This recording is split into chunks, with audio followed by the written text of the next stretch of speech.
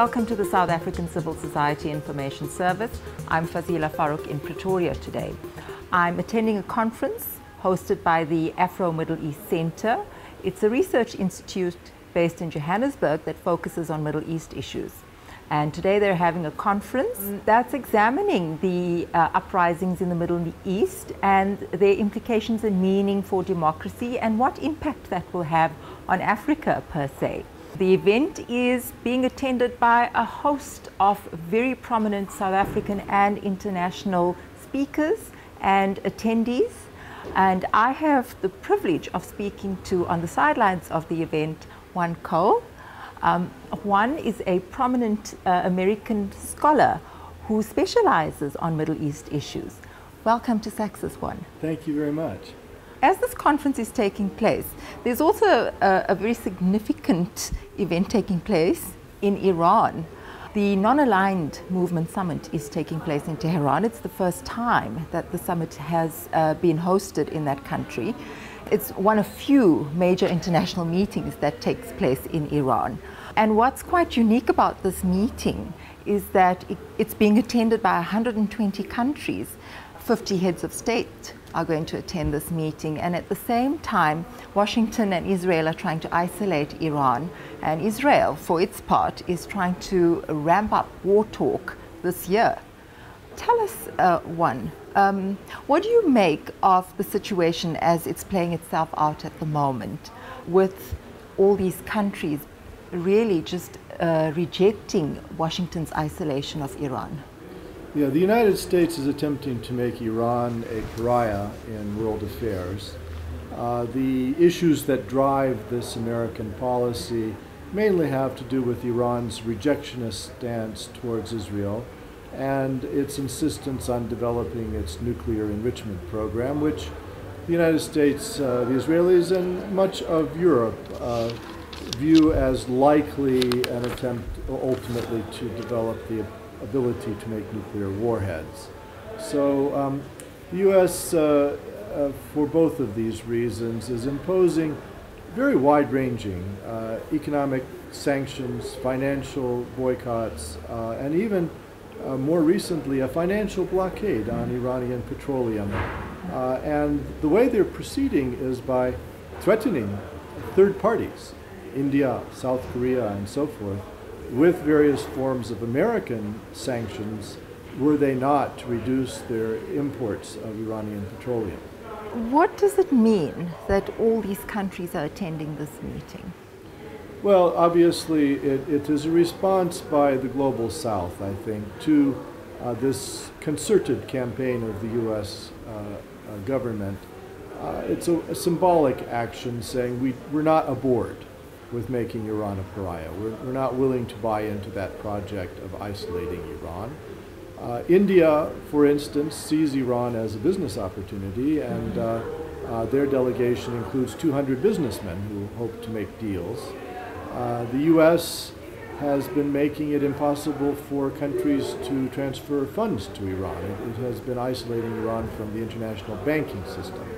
And so uh, India has uh, agreed now to use various forms of barter, and Iran uh, is beginning to accept Indian rupees, a soft currency, for payment.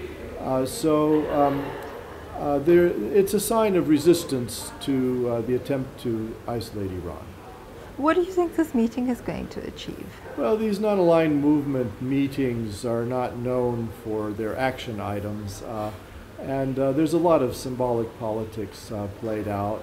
I think they, the, the movement's origins had to do with uh, uh, the reluctance of uh, Egypt and India and Indonesia in their time in the 1950s to be conscripted into one side or the other in the great Cold War struggle between the United States and the Soviet Union. Mm-hmm. Uh, in a way, the end of the Cold War brought up the question of whether the non-aligned movement really has a purpose any longer. Uh, and uh, as it goes forward, I think it increasingly is trying to be a, a, voice for those countries that are not part of the G20, you know, they're not part of the economic elite of the world. Now, at the same time, um, there is talk about war and that's really being promoted by Israel this year. Can you tell me, what are your predictions? Do you think that there will be a military strike against Iran? My own uh, analysis of it is that uh, the uh, right wing, uh, far right wing Israeli government uh, of the Likud party, uh, Prime Minister Benjamin Netanyahu, is bluffing. I think that he is attempting to pressure the United States to strike at Iran's nuclear facilities. Uh, and one of the ways that he can pressure them is to threaten to do it himself if the U.S. won't. Uh, I don't believe that there will be any dramatic policy change in the United States of that sort during a presidential election year. Uh, you know, if you start a big international project 80 days before a national election, you don't know whether it will seem to fail or succeed, and it would be uh, foolish uh, to uh, initiate such a project at this time politically in the United States. So I don't think Iran is going to be on the front burner until at least next year. And if, the, if Obama wins the presidential election, uh, even then, I, I, think it's much more likely that uh, the U.S. will continue with these deep sanctions uh, than that there will be a military action. So, I, I, my own analysis is that Mr. Netanyahu is doomed to be disappointed. You said if uh, President Obama wins this election, um, having you here is an opportunity for me to uh, ask you for our South African audience what you think about the outcome of the upcoming presidential election uh, in America. Which way do you think it's going to go? At the moment, uh, President Obama has many advantages uh, in the election. Uh, incumbents have an advantage, and uh, it's, it's a little bit rare for an incumbent to lose. Uh, and then the, um, the United States presidential elections are not conducted on the basis of a popular vote. Uh, there is an electoral college, so each of the states elects delegates to the electoral college, who in turn then elect the president indirectly. And in that electoral college, uh, Obama has a very substantial lead in likely delegates at, as we speak.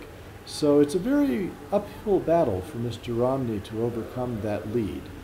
Uh, again, uh, the United States is a very evenly divided society between its two major parties. Uh, it's almost 50 50. And uh, many states uh, consistently vote for one or the other. And so the election is really happening only in 12 states. Those are the swing states that might go Democrat or might go Republican. And of course, within each of the 12 states, about a third of the people are diehard Democrats and a third are diehard, diehard uh, Republicans. So the election will be decided by the independent voters, the middle 30%, and perhaps the middle 10% in each of the 12 states.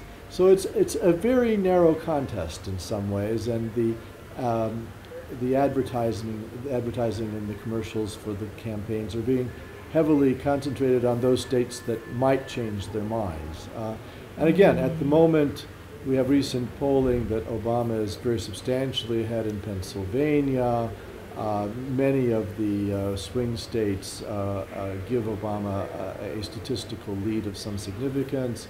So um, uh, I'd have to say that uh, if you were a betting person, at mm. the hmm. moment the good money would be on Obama. So are the American people particularly particularly swayed by the by either party's foreign policy positions? I'm afraid to say that foreign policy is almost completely irrelevant in this election. Uh, it's barely brought up, uh, even though the United States still has tens of thousands of troops in Afghanistan. I don't believe either candidate has much mentioned Afghanistan. Uh, Obama has set two years from now, 2014, as a withdrawal date, and the only criticism Mr. Romney has of that move is to say, well, he shouldn't have announced it. It's all right that there should be a two-year deadline for withdrawal, uh, but he shouldn't have said so. Um, and so the, the foreign policy uh, issues don't enter very much into the debate. Uh, American presidential debates tend to be very much focused on domestic issues. And occasionally you will have a period, as in the Vietnam War or the Iraq War, when uh, a foreign war will, uh, will impinge on the election. But in this case, that doesn't seem to be the case. Uh, it's all about jobs and Mhm. um, health care Mhm. and uh, women's rights and uh, reproductive rights, and uh, those are the hot button issues. And just taking you back a little bit to the discussion we were having about Iran, should we have a Mitt Romney uh, victory and he becomes president, uh, what stance do you think he would take on Iran? Well, Romney is a hawk on I- Iran, and uh, he may or may not stick to his current position, but his current position is that the U.S. should be willing to take military action to halt Iran's nuclear enrichment activities. Uh, so the likelihood of an, a U.S. Iran military confrontation uh, is elevated were Romney to win. Juan Cole, thank you very much for joining us. Thank you. And thank you for joining us at the South African Civil Society Information Service.